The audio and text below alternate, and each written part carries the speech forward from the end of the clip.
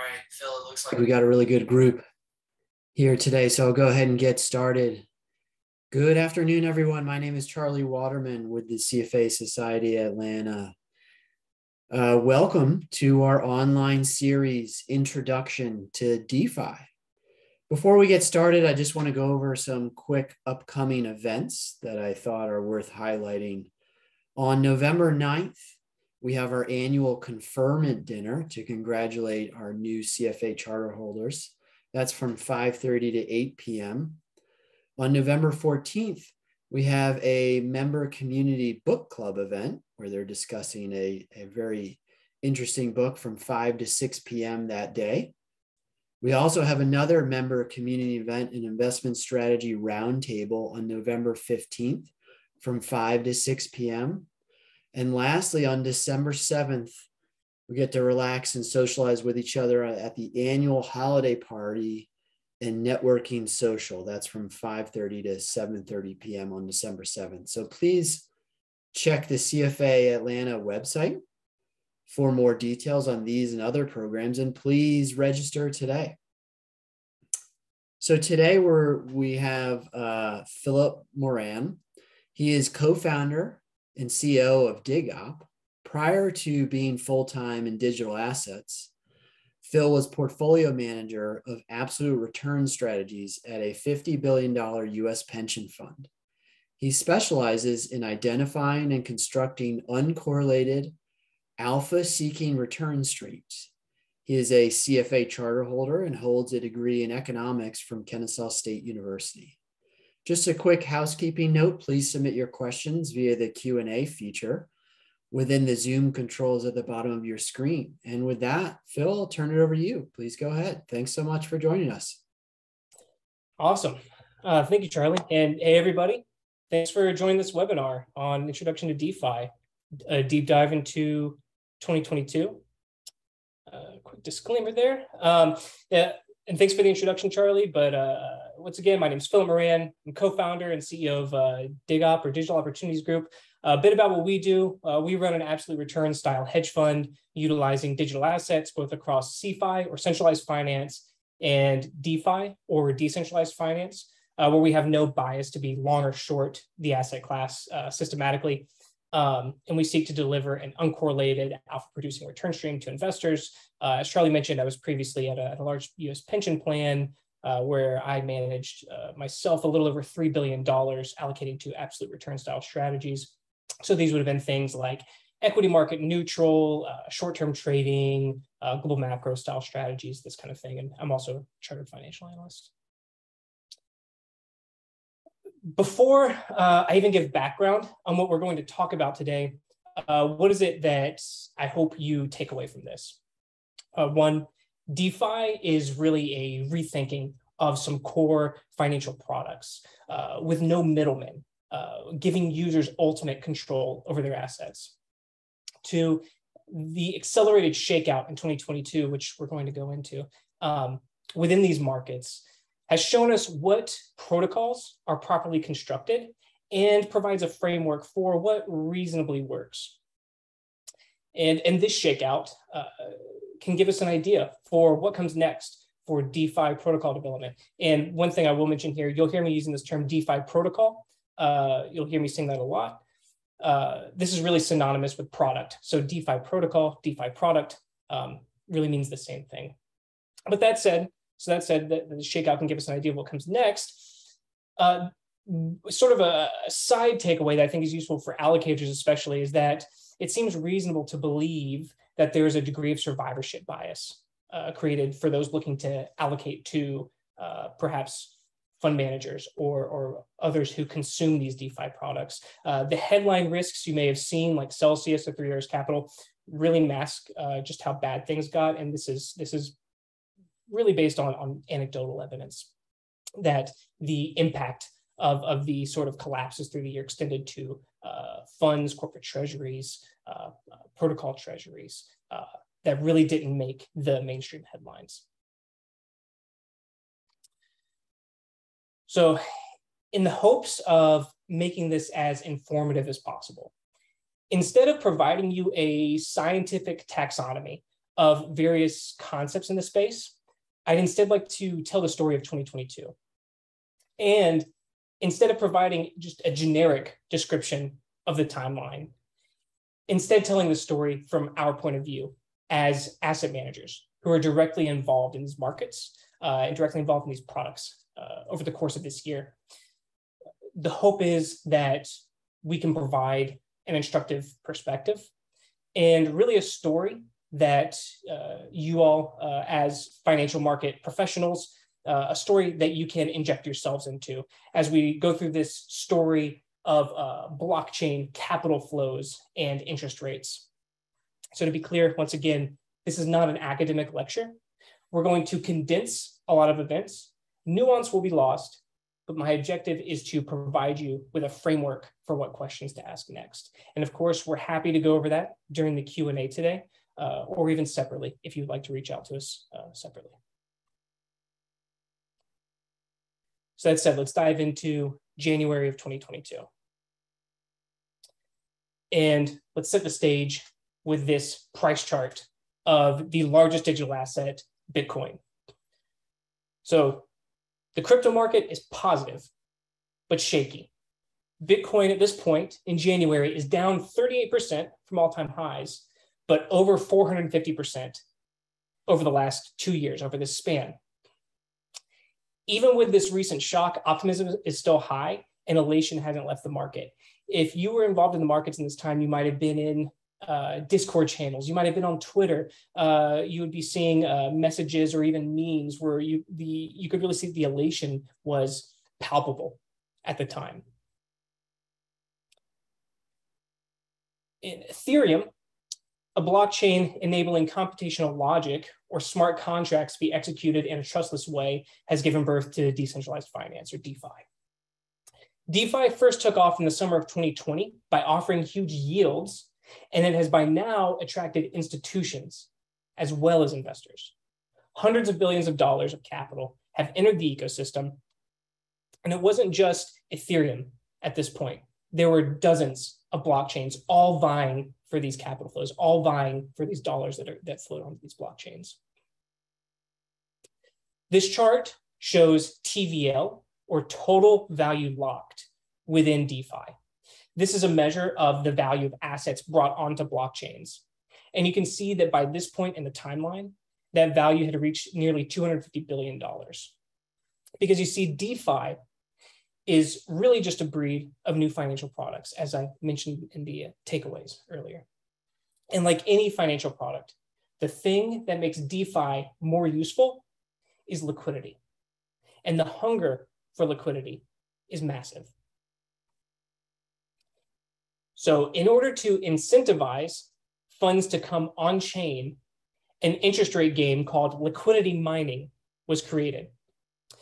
Liquidity mining is where liquidity providers lend uh, or deposit their assets onto a decentralized finance protocol or, or product in exchange for a share of the fees generated plus a token incentive. And this token incentive portion was paid out in a cryptocurrency itself.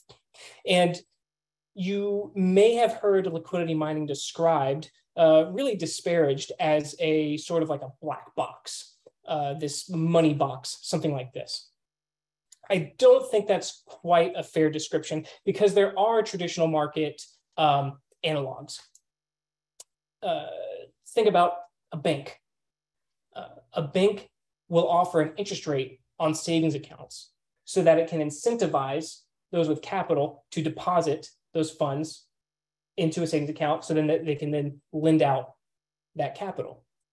Similarly, within uh, DeFi, lending protocols like Aave or Compound Finance offer yields to depositors in order to incentivize those assets to flow onto the product, onto the protocol. Uh, similarly, like the New York Stock Exchange or NASDAQ or other traditional market exchanges might offer fee rebates to market makers uh, to provide liquidity. So, too, uh, in DeFi, Uniswap or SushiSwap decentralized exchanges uh, allowed users to participate in swap fees and also provided them a token incentive. So of course, as this capital flowed onto a decentralized exchange, it would lower the slippage the same way that the uh, a traditional market exchange wants to incentivize market makers to bring that capital, uh, making the markets operate better, lowering slippage. And all of this, of course, is done with that uh, DeFi promise of assets remaining in your control, secured by cryptography and mathematics. So as an example, uh, this is a chart from our internal on-chain yield system. Uh, we call it Spike. Uh, so we scrape this liquidity mining yield data from over a dozen blockchains. We build out these, these intraday data sets. Um, and this is a time series of the yields on a liquidity mining opportunity where you could deposit to stable coins. And so stable coins, these are cryptocurrencies that are pegged to the value of the dollar. Uh, in, in, this case, uh, the two stablecoins are USDC and DAI. So you could take these two stablecoins, deposit them into this protocol, and then you'd be uh, provided yield. You would generate this yield. Uh, the thing to pay attention to on this chart is the red line. So the red line is the uh, aggregate annualized yield that you would generate by participating in this opportunity. And so you can see that it was often in the high teens. And I guess just to, in case some of these numbers are, are fairly small, the x-axis down here, the timestamps, this is from December of 2021 to mid January 2022. So to give you an idea of what some of these yields look like at the time. And so you can see this stablecoin opportunity, you could go generate at times in the teens, high teens, interest rates on your just straight up dollars. And believe it or not, this was actually one of the less attractive opportunities at the time. So this is our background for entering the year as we move into uh, the next few months and into the second quarter. So as these first few months rolled on, these capital inflows created increased competition for yield, as you can imagine. So that chart of TVL that we showed earlier, that hockey stick looking chart where those assets flowed in, you can imagine that as more and more capital flowed in, this led to more competition to try to go get that yield. This led to yield compression. And so, as you would expect, this drove people out on the risk spectrum. So, here we show a visual uh, that we had put together. We were trying to demonstrate to folks just how competitive the liquidity mining game uh, was becoming. Uh, so, uh, what this chart is, this is a chart showing how long it took for a given liquidity mining opportunity to have its yield cut in half. Because you see, the liquidity mining game was you would go deposit your funds, your stable coins typically, into one of these liquidity mining pools, one of these liquidity mining opportunities where you would then generate this yield, but then that yield would eventually decline and you'd have to go to the next one and the next one and the next one. So what this chart is showing is how long it took for the yield at a given opportunity to have its yield then cut in half. And so you can see as the year started in January, it took about 13 days thereabouts, so about two weeks, let's call it, for the yield to get cut in half at a given opportunity. But then as the year rolled on, this came all the way down to uh, really as we came into the first part of the, the second quarter, uh, this came down all the way to about five days thereabout. So you can clearly see that increasing competition that I mentioned. You can see how market participants could be forced out on the risk spectrum as they had to work harder and harder to extract that yield, as they had to bounce from protocol to protocol to protocol. And it's not hard to imagine now uh, folks, market participants, relaxing their underwriting standards if they had any at all.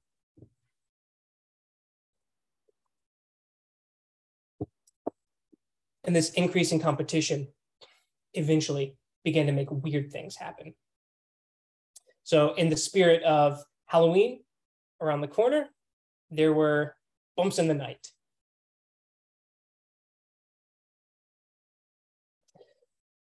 So, for example, now I want to be clear that this example I'm going to show you, this is not like some kind of uh, systematically important asset we're about to go over. This this this asset I'm about, I'm about to give an example of did attract uh, couple hundred million dollars of capital, but it was not it was not systemically important. But it does give us a really interesting um, sort of microcosmic representation of what was going on at the time. So this example, it's a protocol called Tomb Finance. It created an asset pegged to another cryptocurrency via this arbitrage mechanism. And it had been offering the protocol Tomb, Tomb Finance, had been offering massive yields in order to compensate liquidity miners to deposit their capital to maintain this peg. And this chart shows the yield that you generate from doing this. So some of these numbers might be small, but if you can see them, your eyes are not fooling you. You can see at times this yield did in fact approach 450% annualized yields at times. And so uh, again, just to uh, read off some of these numbers, the x-axis, the time here goes from uh, September of 2021, showing it to uh, late March, early April of, of 2022. So in order to get this yield payment, which, as I said, peaked at, at 450% at times, but then even in 2022, this yield was still ticking over uh, 100% annualized yields for extended periods of time. So, but in order to get this yield, what you had to do was you had to go purchase Tomb. Tomb was this pegged asset. It was pegged to another, another cryptocurrency. So you had to go purchase the pegged asset, hold it on your balance sheet or in a wallet, what it's called, and then deposit that into a liquidity mining protocol. So as you look at this chart of here, uh, it's not a stretch, it's not a logical stretch to assume that the peg was held up by the yield itself. And you could actually see that relationship quantitatively at the time. Uh, so this uh, is a scatter plot where we just simply plotted out the, the correlation between the uh, tomb peg between the, the pegged asset and the changes in yield. And so you can see that positive correlation between the peg and the change in yield.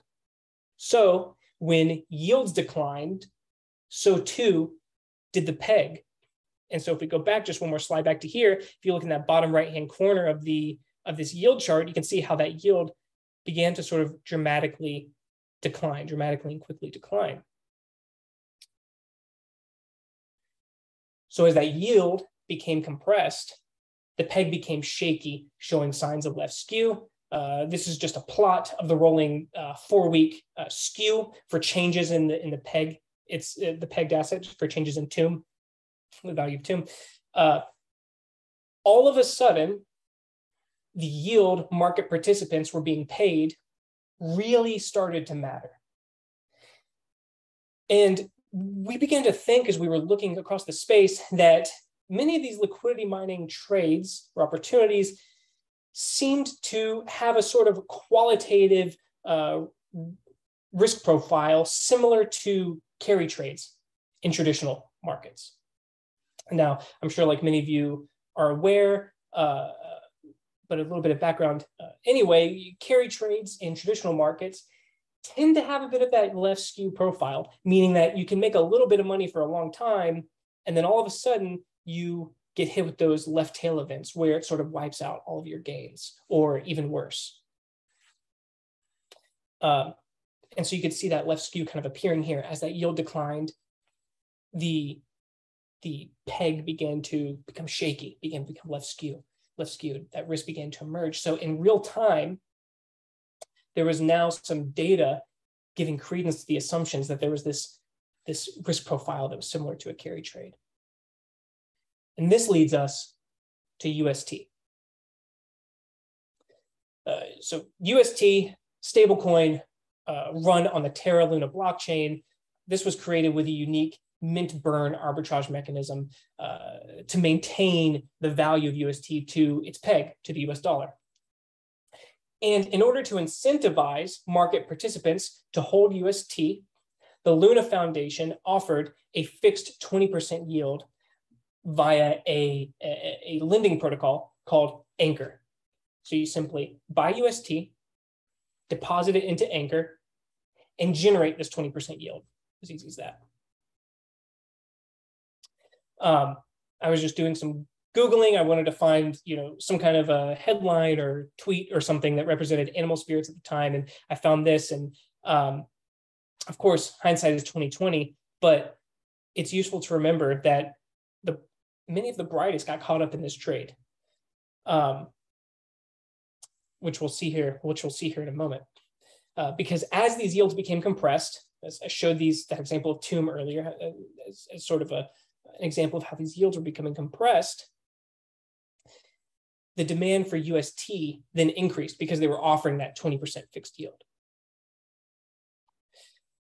So here you can see the total UST in existence. This is the market cap, market capitalization of all UST. Uh, just before the collapse, it reached nearly $19 billion uh, in total. Uh, and so under the weight of its own demand, the Luna Foundation and the Anchor Protocol could not meet that 20% fixed interest promise. And after only some minor interest rate reductions, where the, the rate was taken down to about 18% in May of 2022, and then there were sort of discussions to take it down to the single digits, um, it didn't take long then for the peg to completely fall apart. And this collapsed suddenly and dramatically with billions of dollars of wealth wiped out overnight. But unfortunately, this had not ended the worst of it.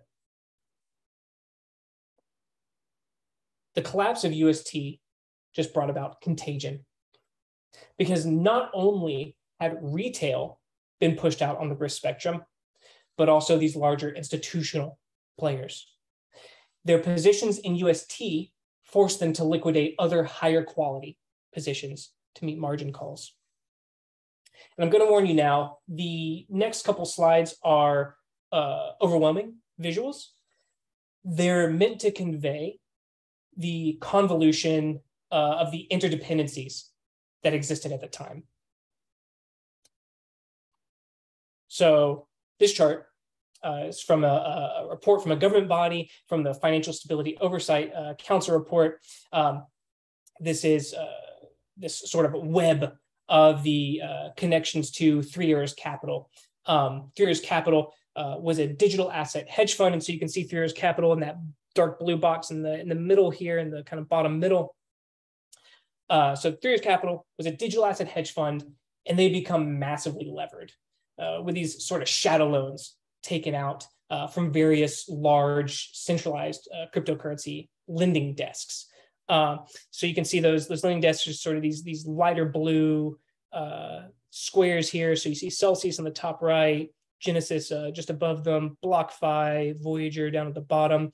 Uh, so there were these this sort of a web of these essentially shadow loans that where these these crypto lending desks weren't aware that that Three Arrows had, had taken out these these loans between all these counterparties.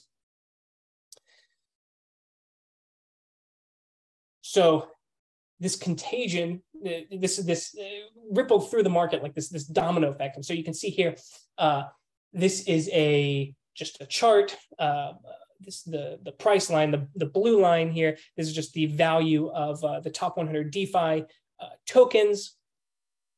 And uh, you can see here that there are just sort of various events that are uh, with these arrows pointing pointing along the the timeline of, of prices. And this is just to demonstrate that interconnected web of of interdependencies that we showed in the last slide, how that actually manifested itself through time and in the markets with these uh, stablecoin depegs hacks that are uh, that occurred as well, and, and, also these these blue events or these these macro fallout, or essentially uh, a lot of this was uh, uh centralized crypto desks um, having to shut down. And one other thing that I do want to mention here is that this is sort of a bonus point for allocators, and I do think this is important um, is that it seems as though, anecdotally, uh, that the balance sheet shocks were far beyond what is mainstream knowledge. I mentioned this in, those, in the takeaways at the very beginning of the presentation. Many digital asset funds, uh, businesses, uh, protocols invested their treasuries into UST uh, much more than what we've seen in, in headlines this combined with the general downward pressure on prices and volatility spikes caused many to close their doors. And, and I think it'll be interesting over the next uh, several months to see um, just what those impacts uh, look like as, as more detailed reports come out. So this moves us forward in the timeline into Q3. So what stands out from this? In the midst uh, of all the collapses, we were able to see what DeFi protocols could stand up to this market environment, could stand up to this stress. And one of the things that I personally love about being involved in digital assets is like is that it operates in dog years. The saying sometimes a decade happens in a week is especially true for these markets. So again, showing that chart of TVL, total value locked, the value of the assets on these blockchains. We asked that question, is DeFi dead in 2022? Was this just an, an interesting yet you know unfruitful experiment? And yes, there have been huge outflows from DeFi, but you can see it looks as though it sort of has leveled out. We'll see what the future holds. Um, but even though there have been these outflows, even though there have been these market catastrophes, we can sort of think about this like a wildfire that burns away overgrowth and leaves behind the sturdy survivors. So too did we get to see which DeFi protocols withstood the stress. Uh, over collateralized, decentralized stablecoin protocols. So this is in contrast to something like UST, which was an under collateralized, used a totally different mechanism to maintain the peg. Over collateralized, decentralized stablecoin protocols like MakerDAO and its stablecoin DAI, which is shown here, effectively maintain the peg. Uh, so here you can see the price of DAI, the stablecoin, through the year, and it rarely deviated but a few basis points. Also, uh, decentralized exchanges like Uniswap and Curve, they kept running. There weren't any pauses, uh, circuit breakers that halted trading. And this chart shows the trading volumes at Uniswap uh, v3. Um, so you can see it, it kept going. Yes, volumes have declined, but it's kept running. And all of this stands in contrast to traditional financial markets, where when catastrophic events happen, uh, lawyers have to get involved. Term sheets have to be reviewed, lawsuits are placed. But for these DeFi protocols, the smart contract is the contract itself. The code is the logic. The balance sheets are public. Uh, you can audit them programmatically and immediately by anyone who desires to do so. We can say from our experience that we were able to underwrite on-chain assets and take a take a look at exactly what was backing the value of these things, and we could do this in ourselves in a, in a trustless, uh, verifiable way.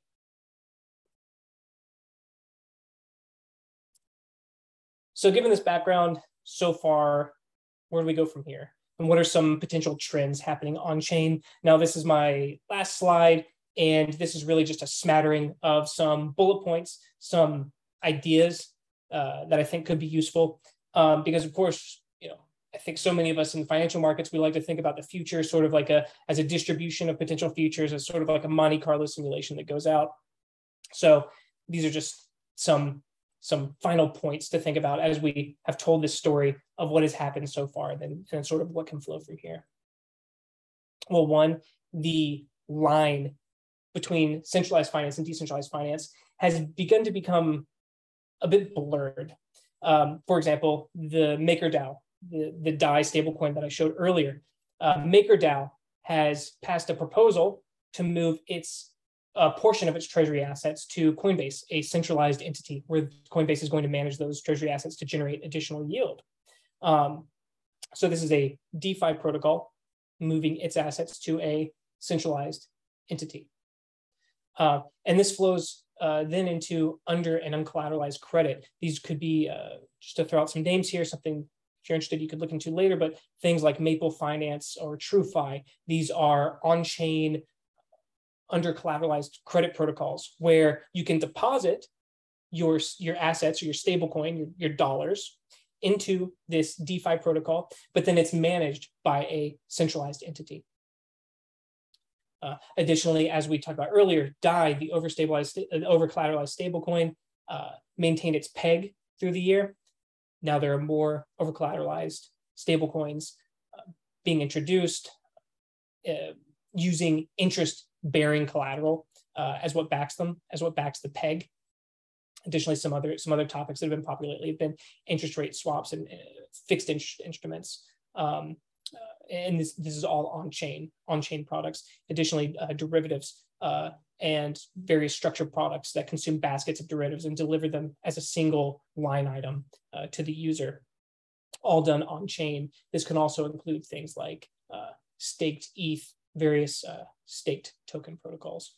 So that uh, concludes the presentation from here. Again, this was uh, these these last bullet points was really just to give you a, um, flavor of what to think about from here. And so uh, happy to go in depth into any of these topics or anything that you'd like to talk about uh, in the Q&A or, or, or separately. So from there, I'll, I'll pass it over to Charlie. Thank you so much, Phil.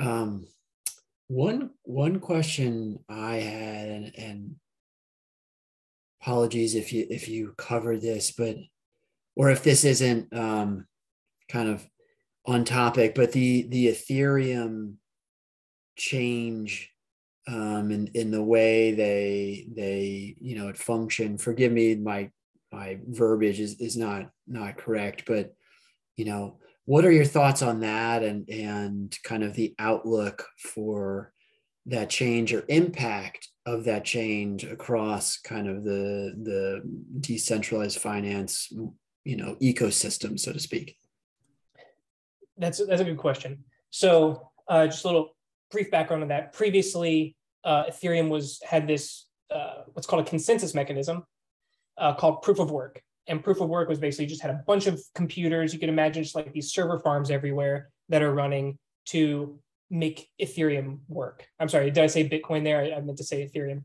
But um, you have all these server farms running basically to make Ethereum work. And it's moved to a new mechanism called proof of stake, which is this um, uh, you can almost think about it as like this probabilistic game where if you hold uh, a certain number of Ethereum, you can then stake them or plug, you just imagine depositing them in a way, and then you generate an interest rate. And you then have a chance to participate in this, what's called a consensus game, a consensus mechanism. Um, so I, I think going back to what I mentioned earlier with this sort of like this line, this blurring line between CeFi and DeFi. Um, the uh, while proof of stake, there are many benefits that people mention, like usually like environmental benefits and this sort of thing. Um, from the perspective of like how centralized are the the now these these participants that maintain the network how centralized are they it looks like it, it might actually make the, the network a little more centralized. So there's really only a few players that hold the majority of the tokens and, and do that. So like, why, why is this important?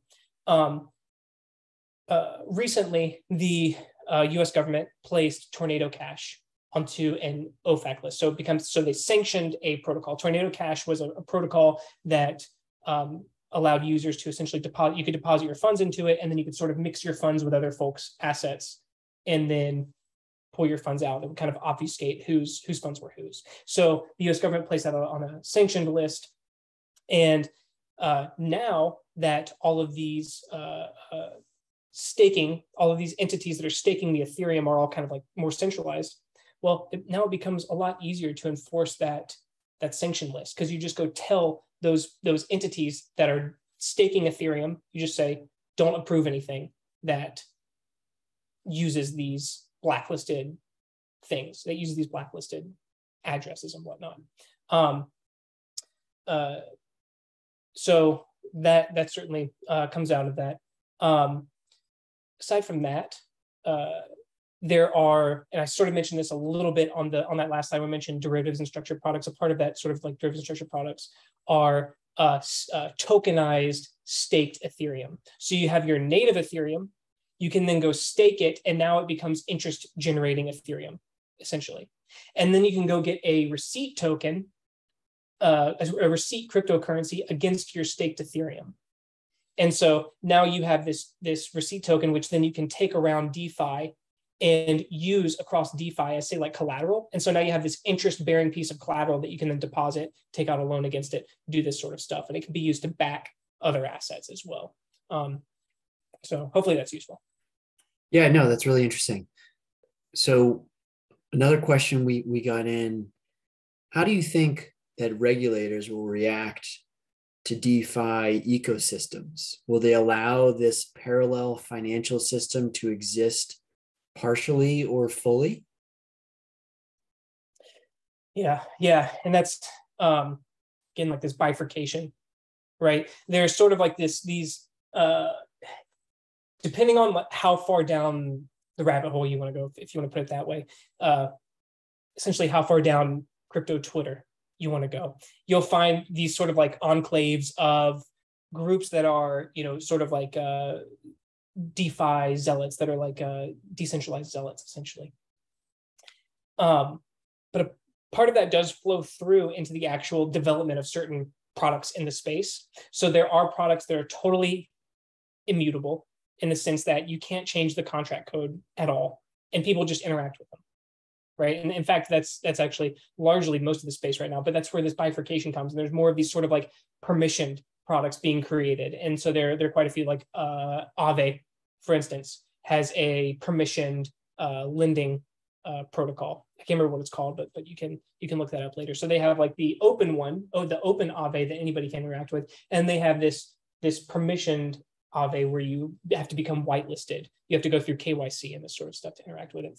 Um, uh, and of course, we do uh, hear from folks that you know KYC is something that they think about in this in this ecosystem, and it sort of takes a new way to think about things. Yeah. Great. One other question is Digital Opportunities Group building any other software for the management of these assets? Spike looks interesting. Yeah. So we have um, uh, so our, our our core product that that we've built out for and, and to be clear, we are consumers of our own product. We built out a portfolio management software platform called uh, Spot. So Spot, this is a platform where we can uh, get direct position level uh, risk management views on our assets, historical performance, this sort of stuff. Um, allows for very granular real-time risk management of our on-chain uh, and and uh, and off-chain positions, so positions at, at centralized uh, counterparties as well. sort of aggregates all this all this all this data, and then we sort of wrap up Spike into that, wrap up our our uh, our yield data sets into that into that as well. Um, but this, this is this is the, the technology that we built out ourselves, and it's all in house. Yeah. Great. Phil, there there are no other questions, but this has been really really interesting. Um, any final thoughts you want to share before we wrap up?